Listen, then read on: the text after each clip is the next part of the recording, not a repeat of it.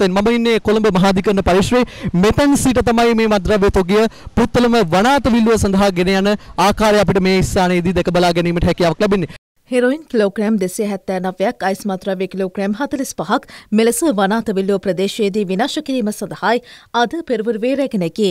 පොලිසිය හා පොලිස් විශේෂකාර බලකයේ විශේෂ ආරක්ෂාව යටතේ මද්‍රව්‍ය විනාශ කිරීම සඳහා රැගෙන ගියා. මේ ස්ථානයේ තමයි මේ මද්‍රව්‍ය තොගේ මේ තාක් අතරංගොඩ ගන්නාලාද මද්‍රව්‍ය තොගේ විනාශ කිරීමට ලක් කරන්නේ විශේෂයෙන්ම සෙල්සියස් අංශක 800ත් 1200ත් අතර ප්‍රමාණය යොදා ගනිමින් තමයි මේ මද්‍රව්‍ය ප්‍රමාණය විනාශ කිරීම අද දවසේදී මේ අධිබලත උඳුනේදී සිදුවෙන්නේ. මහජන ආරක්ෂක අමාත්‍ය ටිරාන් අලස් මහතාගේ සහ පොලිස්පති දේශබන්දු තෙන්නකොන් මහතාගේ ප්‍රධානත්වයෙන් මේ අධිබලති උඳුන විවෘත කෙරුණා.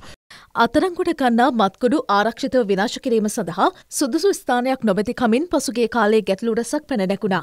එම තත්ත්වය සැලකිල්ලට ගනිපිනුයි මෙම උදුන ඉදිකර තිබෙන්නේ. සෙල්සිස් අංශක අටසියට වැඩි උෂ්ණත්වයක් යටතේ මෙම මත්කුඩු පුළුස්සා විනාශ කෙරෙනවා. එම සියල්ල සම්පූර්ණයෙන් විනාශවීම සඳහා පැය අටක පමණ කාලයක් ගත වනවා. අමාත්‍ය ටිරාන් අලස් පොලිස්පති දේශබන්ධු තෙන්නකොන් මහතා ඇතුළු පිරිසක් මෙම අවස්ථාවට එක්වනා. දිනේශ් එස් පෙරේරා සමගින් මම සදීප සෙනවිරත්න පුත්තලම වනාත විල්ලුව ප්‍රදේශයේ සිට